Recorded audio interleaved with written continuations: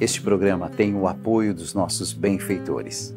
Seja você também um benfeitor, evangelizando com a gente. 0 Operadora 11 4200 8080.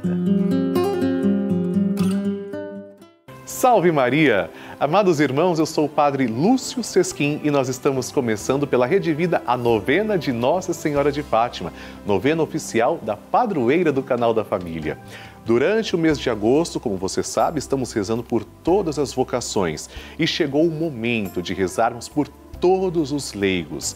As pessoas que não são ordenadas são as pessoas chamadas de leigas, mas leigo vem do latim laite, que significa povo, povo santo de Deus, sacerdócio real. Nós acreditamos que Jesus continua hoje presente na sua igreja e você, que é leigo, que é leiga, tenha certeza, você faz a maior parte do povo de Deus, porque você é sal da terra e luz do mundo.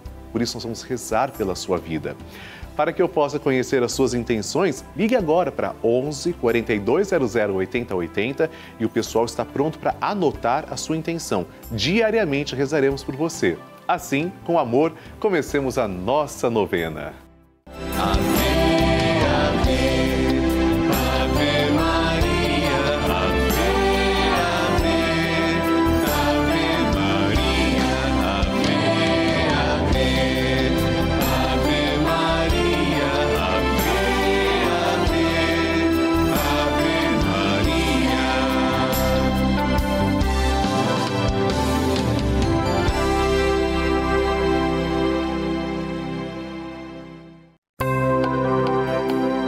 Estamos começando a novena de Nossa Senhora de Fátima, padroeira da Rede Vida. E vamos nos encontrar diariamente para saudar a nossa mãe com todo o coração e lembrar a sua mensagem. São nove dias seguindo os ensinamentos que Nossa Senhora deixou aos três pastorinhos e pedindo que ela interceda junto a Jesus pela penitência e reparação de todo o pecado, santidade de vida e oração, por nossas famílias, pelo amor à Igreja, pelo Papa, pela saúde dos enfermos, pela paz no mundo, pelas almas do purgatório e pelas graças alcançadas.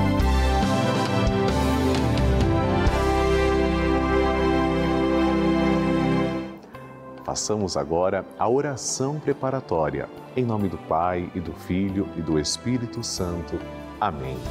Ó Santíssima Virgem Maria, Rainha do céu e Mãe de misericórdia, que vos dignastes manifestar em Fátima a ternura de vosso imaculado coração, trazendo-nos mensagens de salvação e de paz. Confiados em vossa misericórdia maternal, e agradecidos, viemos a vossos pés para rendermos o tributo de nossa veneração e amor. Concedei-nos as graças que necessitamos para cumprir fielmente vossa mensagem amorosa e aquela que vos pedimos nesta novena, para maior glória de Deus, honra vossa e proveito de nossas almas. Assim seja.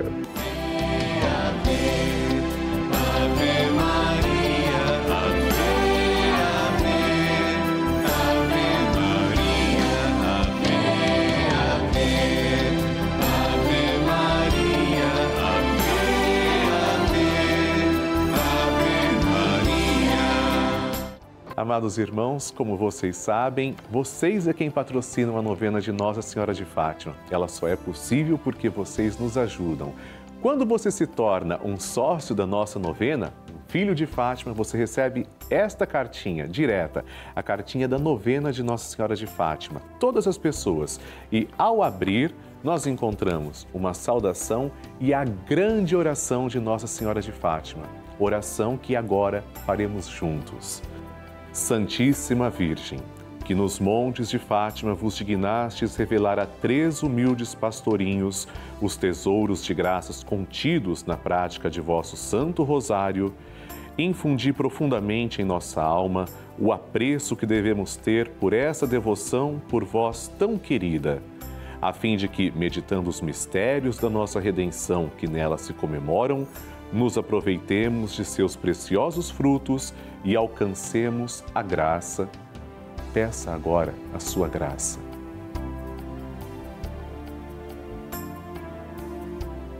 Que vos pedimos, se for para a maior glória de Deus, honra vossa e proveito de nossa alma. Amém. Nossa Senhora de Fátima, rogai por nós. Em Fátima, Nossa Senhora explicou a necessidade de rezarmos pelas almas que estão no purgatório em etapa de purificação.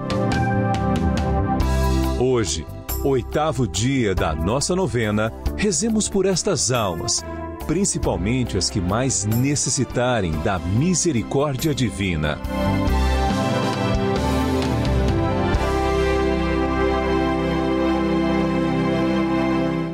Amados irmãos, o tema de hoje é a nossa oração pelas almas do purgatório. Aos três pastorinhos, Nossa Senhora ensina que devemos rezar pelas almas que estão no purgatório, pois muitas não se salvam porque ninguém se lembra de pedir por elas. O anjo de Portugal nos ensinou a oração que hoje rezamos no Santo Terço. Ó meu Jesus, perdoai-nos, livrai-nos do fogo do inferno, levai as almas todas para o céu e socorrei principalmente as que mais precisarem. Pedimos a intercessão de Nossa Senhora de Fátima pelas almas que ainda passam pelo purgatório. Não nos esqueçamos de rezar e pedir sempre por elas. Temos no céu alguém que nos ama e deu a sua vida para nos salvar, Jesus, para nos livrar do inferno.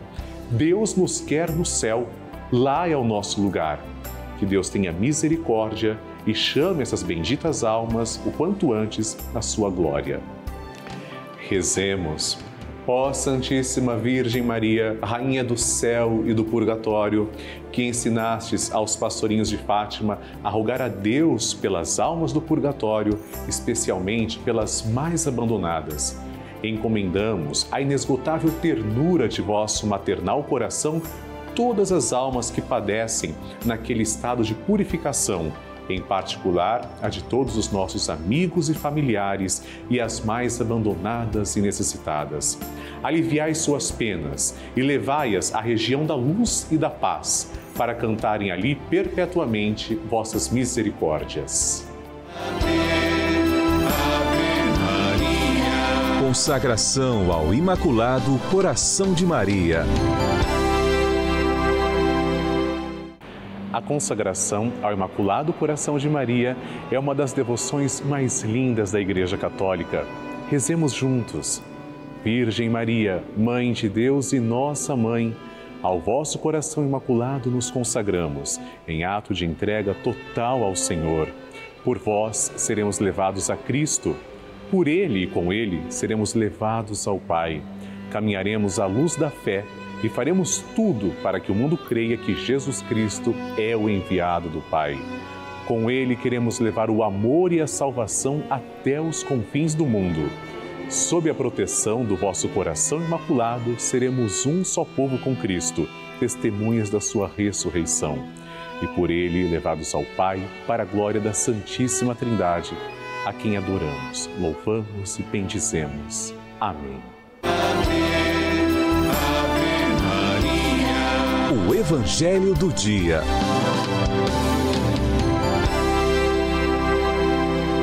O Senhor esteja convosco, Ele está no meio de nós. Proclamação do Evangelho de Jesus Cristo segundo João. Glória a vós, Senhor. Filipe encontrou-se com Natanael e lhe disse: Encontramos aquele de quem Moisés escreveu na lei e também os profetas, Jesus de Nazaré, o filho de José. Natanael disse: De Nazaré pode sair coisa boa? Filipe respondeu: Vem ver. Jesus viu Natanael que vinha para ele e comentou: Aí vem um israelita de verdade, um homem sem falsidade. Natanael perguntou: De onde me conheces? Jesus respondeu: Antes que Filipe te chamasse, enquanto estavas debaixo da figueira, eu te vi. Natanael respondeu: Rabi, tu és o filho de Deus, tu és o rei de Israel. Jesus disse: Tu crês porque te disse: Eu te vi debaixo da figueira? Coisas maiores que essa verás. E Jesus continuou: Em verdade, em verdade eu vos digo: vereis o céu aberto e os anjos de Deus subindo e descendo sobre o filho do homem. palavra da salvação. Glória a vós, Senhor. Queridos irmãos, hoje nós celebramos São Bartolomeu, que na Bíblia é conhecido como Natanael. Segundo a antiga tradição cristã, ele teria evangelizado até a Índia. Lembremos, estávamos falando de Jerusalém no tempo de Jesus e ele chegou até a Índia. E ali, inclusive, estabeleceu-se uma comunidade com rito próprio. Natanael é certeza de que o Senhor nos conhece muito mais do que nós nos conhecemos. O chamado de Natanael, conhecido como Bartolomeu, também é dirigido para nós. Não peçamos ao Senhor provas, mas antes de tudo, reconheçamos que o Senhor nos conhece profundamente, melhor do que nós mesmos. Amém. Bênção do Santíssimo.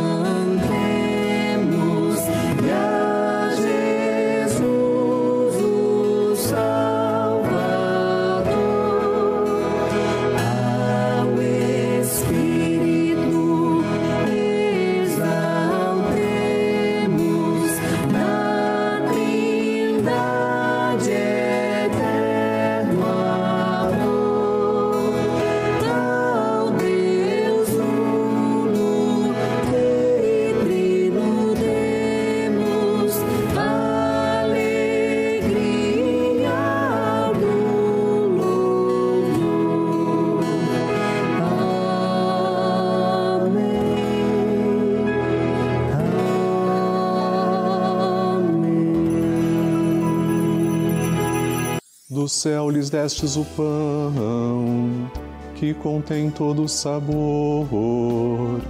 Oremos. Senhor, que neste admirável sacramento nos deixastes o memorial de vossa paixão.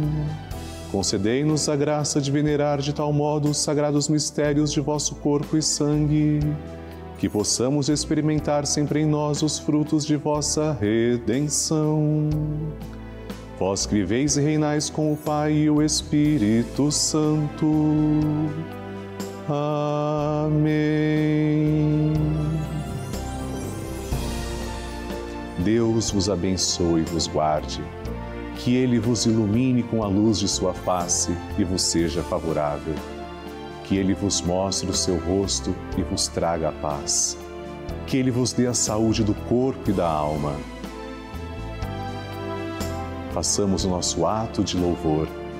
Bendito seja Deus, bendito seja o seu santo nome, bendito seja Jesus Cristo, verdadeiro Deus e verdadeiro homem. Bendito seja o nome de Jesus, bendito seja o seu sacratíssimo coração, bendito seja o seu preciosíssimo sangue. Bendito seja Jesus no Santíssimo Sacramento do altar. Bendito seja o Espírito Santo Paráclito. Bendita seja a grande Mãe de Deus, Maria Santíssima. Bendita seja sua Santa e Imaculada Conceição. Bendita seja sua gloriosa Assunção. Bendito seja o nome de Maria, Virgem e Mãe. Bendito seja São José, seu castíssimo esposo. Bendito seja Deus nos seus anjos e nos seus santos. Deus e Senhor nosso, protegei a vossa Igreja. Dai-lhe santos pastores e dignos ministros. Derramai as vossas bênçãos sobre o nosso Santo Padre, o Papa, sobre o nosso Bispo, o nosso pároco e todo o clero, sobre o chefe da nação e do Estado e sobre todas as pessoas constituídas em dignidade, para que governem com justiça. Dai ao povo brasileiro paz constante e prosperidade completa. Favorecei com os efeitos contínuos de vossa bondade o Brasil, este arcebispado, a paróquia em que habitamos e a cada um de nós em particular, bem como a todas as pessoas por quem somos obrigados a rezar ou que se recomendaram as nossas orações. Tende misericórdia das almas dos fiéis que padecem no purgatório. Dai-lhes, Senhor, o descanso e a luz eterna. Amém. Agora, amados irmãos, façamos juntos a oração que o anjo de Portugal ensinou aos três pastorzinhos. Reze comigo. Meu Deus, eu creio, adoro, espero e amo-vos. Peço-vos perdão pelos que não creem, não adoram, não esperam e não vos amam. Momento de recebermos a bênção também da água. E agora, Senhor Jesus Cristo, nós os pedimos que abençoeis esta água apresentada diante de vós. Senhor, fazei que as pessoas que beberem dela, vossa criatura, possam receber os benefícios espirituais e corporais. Abençoai, Senhor, a nossa água, em nome do Pai e do Filho e do Espírito Santo. Amém.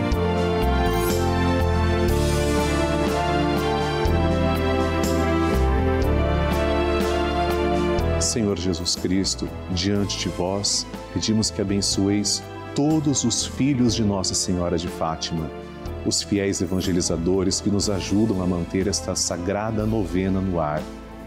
Abençoai, Senhor, as suas famílias, em especial aquelas que trazemos e cujos nomes estão em cima do altar, ao vosso lado. Em nome do Pai, e do Filho e do Espírito Santo. Amém. Pai nosso que estais nos céus, santificado seja o vosso nome. Venha a nós o vosso reino, seja feita a vossa vontade, assim na terra como no céu.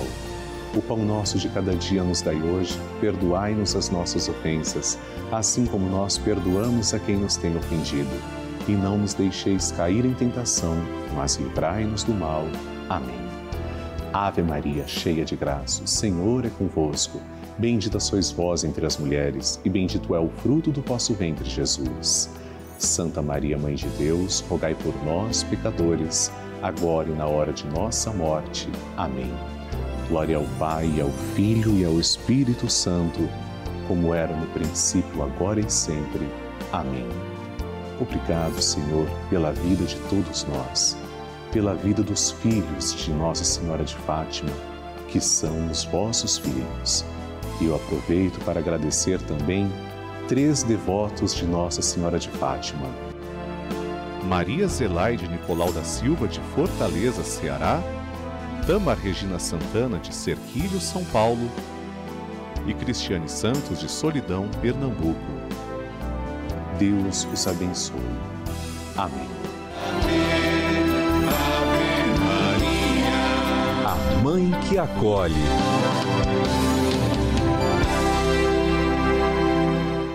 Queridos irmãos, vocês que são filhos de Nossa Senhora de Fátima e me acompanham na novena, neste mês de agosto receberam esta cartinha. Carta feita com todo carinho e se você está com ela em mãos, pegue-a, porque nós vamos fazer juntos a nossa oração. No mês de agosto, a oração pelos enfermos. Acompanhe o texto comigo, rezando para Nossa Senhora de Fátima. Virgem Puríssima, que sois a saúde dos enfermos, o refúgio dos pecadores, a consoladora dos aflitos e a despenseira de todas as graças, na minha fraqueza e no meu desânimo. Apelo hoje para os tesouros da vossa misericórdia e bondade, e atrevo-me a chamar-vos pelo doce nome de Mãe. Sim, ó Mãe, atendei-me em minha enfermidade Dai-me a saúde do corpo, para que possa cumprir os meus deveres com ânimo e alegria. E com a mesma disposição sirva o vosso Filho Jesus e agradeça a vós. Saúde dos enfermos. Saúde dos enfermos, rogai por nós. Amém. Esse texto em que nós estamos rezando todos os dias no mês de agosto está na cartinha que você recebe quando você se torna um filho de Nossa Senhora de Fátima, sócio da nossa novena. Muito obrigado a você que diz sim a essa obra de amor. Salve Maria!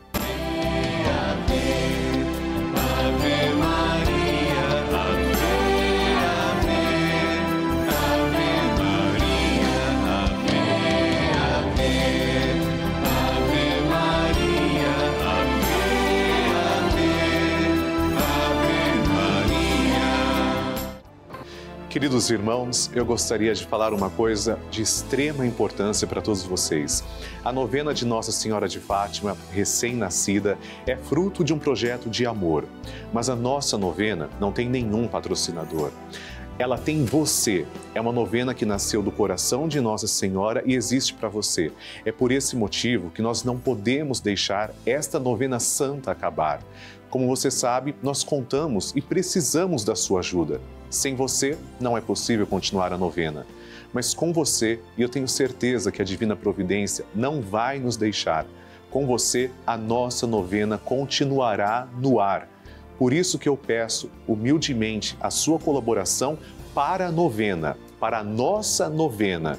Ligue agora para 11 4200 8080 e quando ligar, diga que você quer colaborar com a novena de Nossa Senhora de Fátima. Você será um colaborador, filho de Nossa Senhora de Fátima. É necessário, nós precisamos e não podemos deixar a nossa novena acabar. Eu conto com você para continuarmos juntos evangelizando.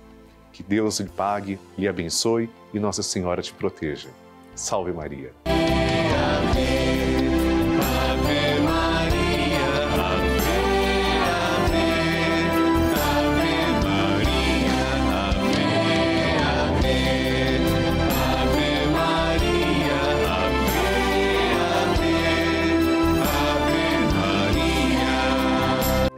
Amados irmãos, estamos terminando a nossa novena de Nossa Senhora de Fátima e nos encontramos para rezar o Santo Terço, se Deus quiser, todos os dias na Rede Vida, a pedido da nossa mãe.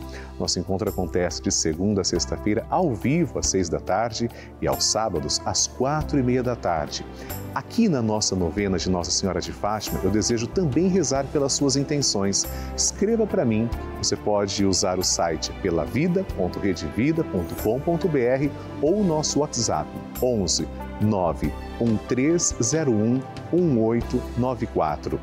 No próximo programa também teremos um tema todo especial dedicado para você, rezando juntos como Nossa Senhora sempre nos pede. Que Deus abençoe, a Virgem de Fátima lhe conserve. Salve Maria!